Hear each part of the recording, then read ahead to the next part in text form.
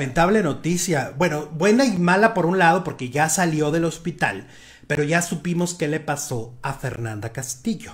Resulta que hoy la revista TV y Novelas en su portada publica la razón por la que Fernanda Castillo fue a dar al hospital después de haber dado a luz.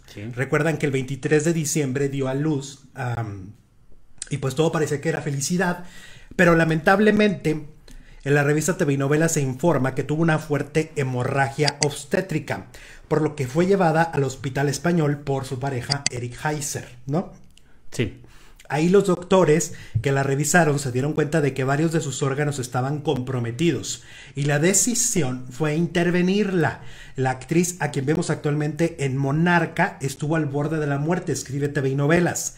En dos ocasiones, escuchen bien porque esto es súper delicado en dos ocasiones durante la operación que le practicaron, tuvo dos infartos.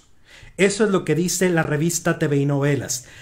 repito, Fernanda Castillo, para los que preguntaron durante los últimos días de la semana pasada qué era lo que tenía, tuvo dos infartos durante la operación.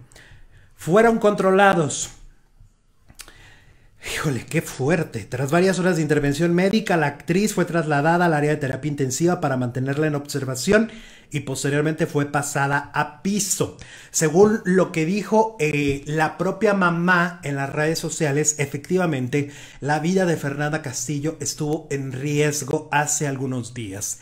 Eh, la madre de Fernanda publicó que era... Eh, para ella una gran satisfacción el que en este momento ella pueda estar bien puede estar sana y pueda estar recuperándose. Angelique Boyer, quien es como una hermana para Fernanda Castillo, también dio revelaciones y dijo que ya estaba fuera del hospital.